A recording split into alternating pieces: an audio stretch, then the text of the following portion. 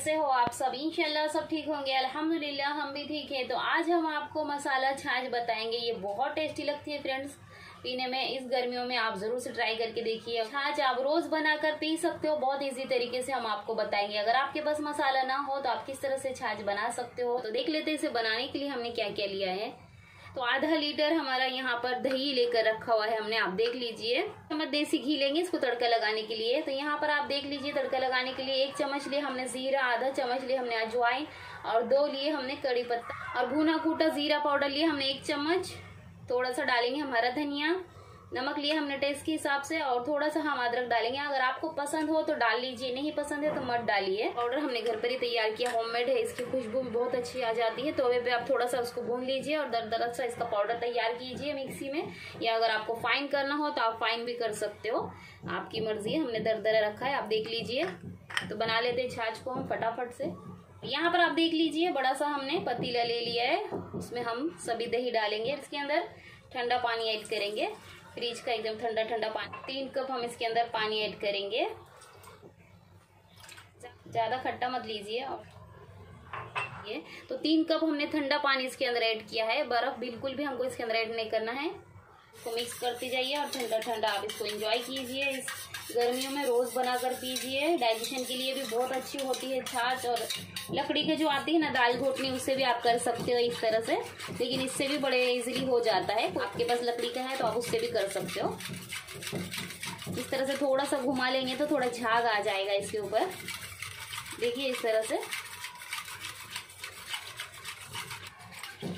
तीन चार मिनट आप इसको इस तरह से घुमा लीजिए तो थोड़ा सा इसके अंदर झाग आ जाएगा तो बहुत टेस्टी बनकर तैयार हो जाएगी हमारी मसाला छाछ।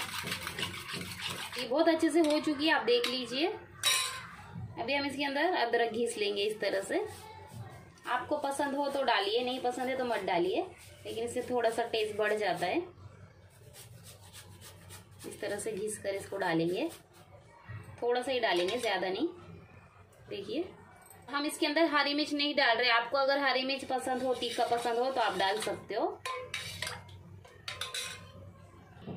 हरा धनिया हमने कट के ये डाल देंगे। नमक डाल देंगे। अजवाइन और जीरा हमने इसमें डाल दिया है। तड़के के लिए चाहिए हमको। थोड़ा सा हम बचा लेंगे गार्निशिंग के लिए। ये भुना कूटा जीरा पाउडर।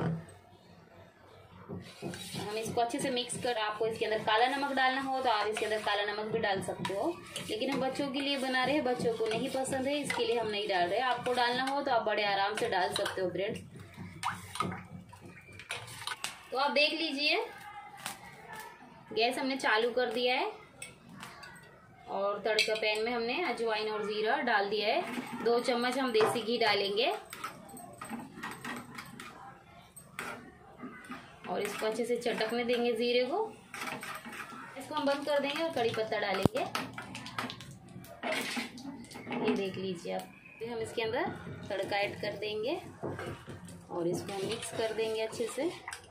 इसमें से सभी ले लेंगे। वेस्ट बिल्कुल भी नहीं करना है।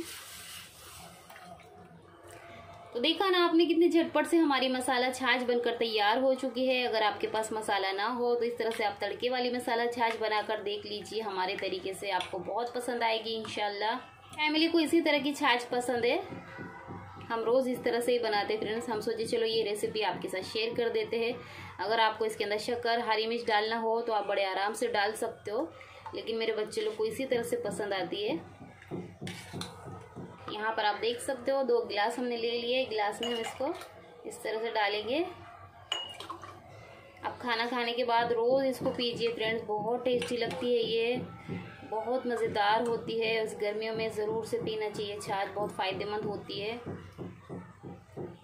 और झटपट बनकर तैयार हो जाती है, कोई मुश्किल नहीं है इसमें, बनाने में कोई समय भी नहीं लगता है। बड़े इजीली आप इसको बना सकते हो।